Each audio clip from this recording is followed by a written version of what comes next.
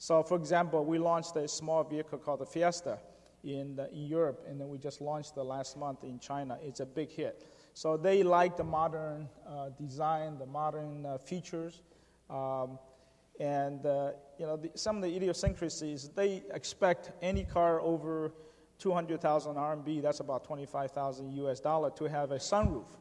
I mean, there's no way in China would you use a sunroof because you'll be black from the dust and the, and the dirt, you know, coming in. But they feel that's a sign of luxury. So you have to have a sunroof. And uh, we made a mistake of launching a, a very nice product, a, uh, a, a, minivan, and they couldn't sell it. And we tried to understand why. They say, well, you don't have a sunroof. okay, and I said, you don't need a sunroof, but I know, but luxury car have to have a sunroof. Uh, you have to have DVD, you have to have leather, all those things they, they expect to have which is not you know the kind of demand you have in Europe or United States. Okay. And also the driving is different because if you've ever been a, a, a taxi in China, uh, they don't know how to use the stick shift. I mean, they go from first to second very quick, and they, they lug the engine. You can hear the engine try to, to ramp up. So you have to design your vehicle slightly different to adapt to the customer expectation. Anyway, I can see that you can talk about cars all day. Uh, they they drive. Go ahead. One yeah. thing? Uh, one thing that's interesting is most uh, senior business executives all business owners do not drive. Yes, I China. know. That's why I was saying they. Uh, it's interesting that uh, BMW has a slogan, "The ultimate driving machine," and that's really trying to cater to people who enjoy driving, but actually. The owners of cars are not actually the drivers, drivers. a lot of cases, uh, right, because right. of uh, the low cost of uh, labor and uh, the traffic, etc. So it's Thank you. So let's move from driving cars to surfing the net.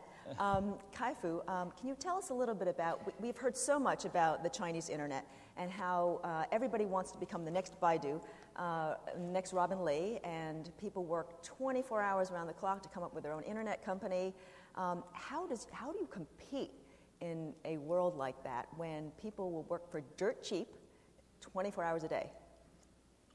Okay, you're asking about Google's business? Yes. How, how would and in general, the industry and the industry.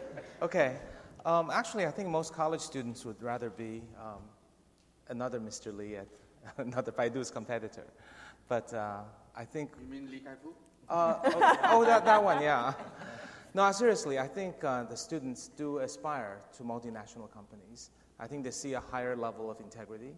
They see that, you know, during recent um, various types of scandals and fake medicines and selling search results. I think there's a great respect for what the multinationals stand for.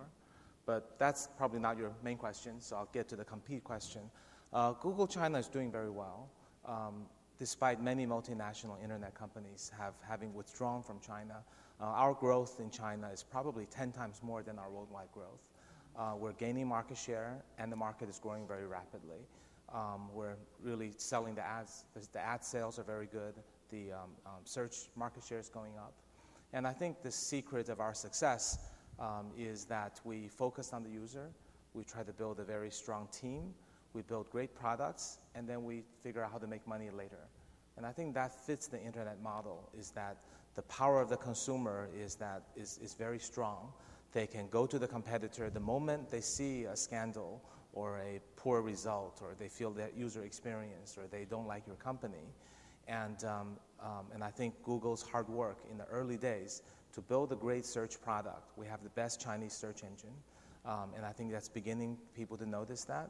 So our market share has doubled in the past two years. And uh, we haven't worried about making money until more recently, the past year or so. And of course, once you have, in the internet business, once you have the volume of traffic, the money will follow because the ads are basically connected to the search results. So having said all that, we're still number two in the market, um, and we're still it's going to be some quite a ways before we become number one. But I think the, the, the, the lesson to pretty much any, not just internet company, but any multinational, is that you have to be humble, understand the market is different, um, pay a lot of attention to the user, build products that fit the user needs, um, and empower the local team to uh, build the right products and not build everything on a global platform. What are the two major differences b- between the way the Chinese use the, use the, internet and the way Americans use the internet? Uh, well, one is entertainment. Definitely one is entertainment, and that spans a lot of areas. And as an example of how Google does things differently in China, uh, we went and talked to users. They said, We don't use Google. We know you have a better search, but you don't have free music. We expect free music downloads. Until you have that, we won't use you. So it took us two years to, to negotiate 140 deals with the record labels to get a China only free music download um, and added that service this March. So if you ever go to China, bring your, bring your iTunes and uh, go, to, go to Google and you can get lots of music, including American songs. So we, we were forced to go into that market and lose money initially, and hopefully over time, advertising will fund that. Because people love music. Music is the number one use of the internet in China. Not news, not search, not portals. Um, other example of uh, entertainment is internet games. That one Google does not participate in because it's not our strength. Um, but um, if you look at all the financial reports of the top Chinese internet companies, the ones with most amazing profits fastest, whether it's Giant Interactive, NetEase, Sohu, uh, Shengda, uh, they're all amazingly profitable. And this is because people are just addicted to these internet games. And I would say, from a technology side, the Chinese internet gaming companies have cleverer uh, technology innovations, uh, especially with um, interesting uh, business um, ideas, you know, such as adding multi-tier marketing, uh, facilitating dating. Um, I won't go into details, but you get the idea. Um, um, uh, beautiful girl verification. Um, the, these, are, wow. these are some of the ideas they've come up with. So that, um, and why do they come up with that? They studied very hard. They're very humble studies of the user. And they found that the majority of their revenue, 90% of their profit, comes from maybe 5 or 10% of the users. Not these college students who are addicted, but these wealthy, um, middle aged men who um, want to live vicariously. no, I, I don't play. who want to live vicariously and, um, and, and be a great leader.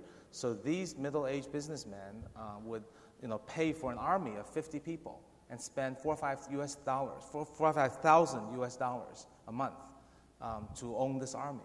And that's where most of the profit comes from.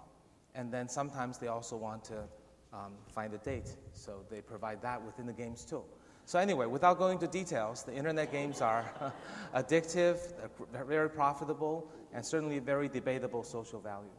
So. let, let, me just add a few remarks. It's just really uh, you know, mind-boggling to see how internet companies evolved in the last uh, you know, 10 years. Uh, and if you look at the, the internet bubble right, about 10 years ago, you know, 2000, uh, internet was the cause of all the problems. In fact, uh, you know, the, uh, you know, that particular crisis was more limited to internet, to IT, high-tech companies. and if you look at in this particular crisis, Internet company, in fact, exhibit an exceptional level of resilience uh, in China and also in, in States. And in China, uh, and actually, if you look at average users, right, it's about 20 or 19 years uh, younger than uh, those users in the United States.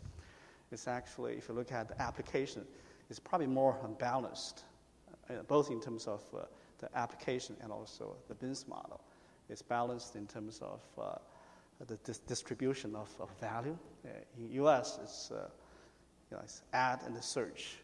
But in China, you, know, you have social networking, and those companies like Tencent, they're making money. Have an e-commerce company like Alibaba, they're making money.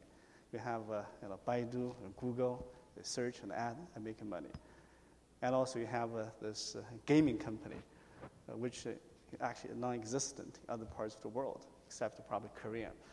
Um, and it's making a lot of money. I, I don't know why you know, they're making a lot of money, but uh, it's, it's, uh, if you look at some of the company, like Sohu, like Changyou, went to IPO uh, a few weeks ago and actually doubled their value it's in, in, in, a few, few weeks.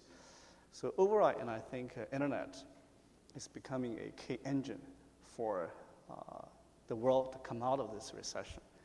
Uh, and I made that remark a few weeks ago in, in Boao. Uh, and, you know, uh, incidentally, this is after Premier Wen Jiabao, and he gave a keynote speech. He, he, he talked about the two critical factors for the world to come out of recession. Obviously, there's the stimulus package, all that collaboration, partnership. He talked about you know, confidence. He talked about hope. And I had a, a, a, small meeting with him afterwards. I told him, and I, I, I told the Premier Wen Jiabao, you should add the, the third factor, which is internet. well, so